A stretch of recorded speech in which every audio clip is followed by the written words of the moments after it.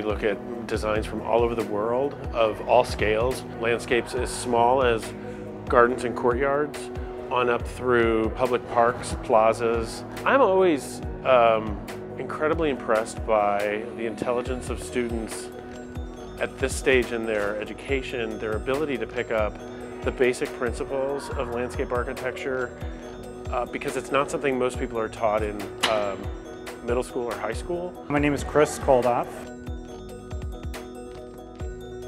So we have, uh, we have 47 offices around the world. We also have some great um, designers who have come from ASU in our Los Angeles office. So I'm always interested in seeing what the work is that's coming out of the school because it's always really solid. One of the things that I'm very impressed with is the multidisciplinary approach that the school takes.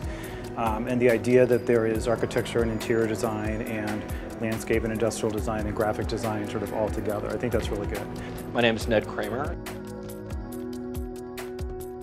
We focus equally on business, technology, and design as they relate to the built environment. I've been really impressed with the focus on sustainability and the specificity of responses to the locale, to the built environment here, to the, the uh, natural environment in, in and around Phoenix in Arizona. And so there seems to be a real sensitivity to place and a real sense of kind of genius loci uh, that you don't always get in, in architecture schools. Very often it's a much more, uh, in a negative way, kind of globalizing response to architecture, and here it seems very, very much responding to place. My name is Tim Eskelin.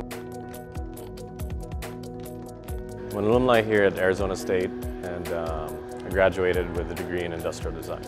I think it's more about looking at the feasibility of it and you know, it's, it's easy to do more, but it's hard to do less, but make it less, you know, so simplifying a product is where it's very hard. I'm Sarah Herda.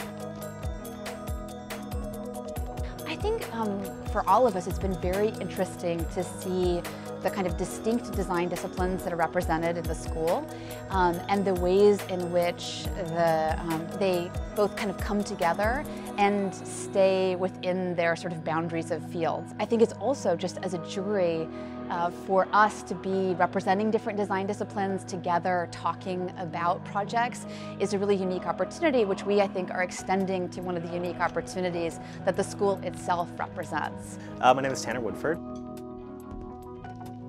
There were so many good projects here. For me, it's both being able to communicate message while still nailing all the details. And that was something that I really struggled with with a lot of the projects is, you know, it'd be a wonderful piece, wonderful design, it would communicate very thoroughly, and then there, there would be one detail that was wrong, whether it was a typo, whether it was, you know, leading it was too wide, or whatever it might be. Uh, and it led to a lot of really long conversations around how important the details are and if we can reward that sort of thing. And not to just put a negative spin on it, because I mean, there's, there were so many pieces that were very strong as well. But I think being able to sort of, you know, have, have your head in the clouds and also look at the, in the details is important.